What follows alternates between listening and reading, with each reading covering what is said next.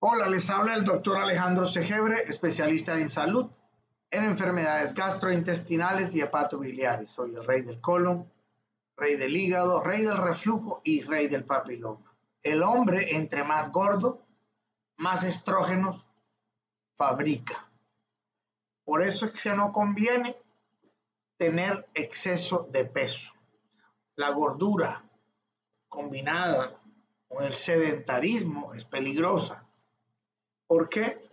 Porque la grasa se convierte en estrógenos con una enzima que se llama la aromatasa. La aromatasa es una enzima que pertenece al, a un grupo de enzimas importantísimas que también se encuentra en el hígado, ¿no? pero es más frecuente encontrarla en el tejido adiposo, o sea, en los gordos se llama aromatasa, o sea, aromatización de, las, de los andrógenos, de las hormonas masculinas. Por eso la testosterona también se te convierte en estrógenos. Entonces, si tienes tendencia a la gordura, pues preocúpate eso que siempre hablan de que no, no tengas esa barriga, esa grasa acumulada ahí, porque además de tener exceso de estrógeno, pues vas a tener problemas cardiovasculares, o puedes llegar a tener problemas cardiovasculares y ese es el riesgo, ¿no? Porque entre más estrógenos tengas, más propenso estás a las enfermedades cardiovasculares y al infarto, ¿no? Entonces, el hombre entre más gordo, más estrógenos fabrica, porque la grasa se convierte en estrógenos a través de una enzima que se llama la aromatasa. La aromatasa aumenta su actividad con el sedentarismo. Si empiezas a hacer actividad física, la aromatasa, comienzas a quemar grasa, pero la actividad de la aromatasa empieza a disminuir.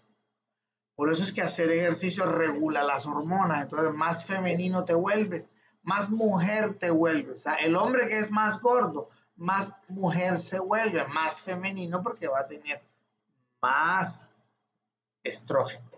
Y te voy a decir los síntomas, oye bien, en el próximo video te voy a hablar de los síntomas de un exceso de estrógenos en el hombre. ¿ok? Porque mucha gente piensa que el hombre no produce estrógenos, sí produce estrógenos. Los hombres y las mujeres producimos estrógenos, pero tenemos que tener los niveles adecuados. Si, si nos pasamos para arriba o nos pasamos para abajo, pues vamos a tener problemas.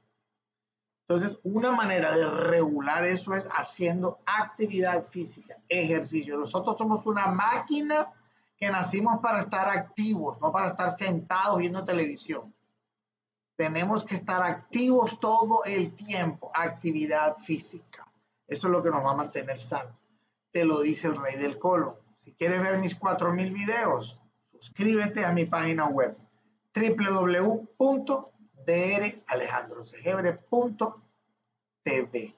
Ahí tendrás la oportunidad de ver los 4000 videos que me bajaron y otros videos más con información que no puedo decir en YouTube.